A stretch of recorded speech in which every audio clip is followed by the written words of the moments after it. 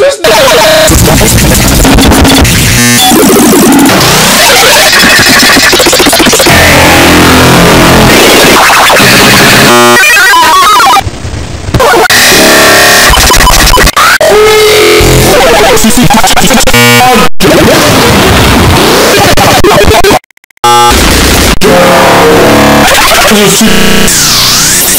Because it was too spiky, god damn.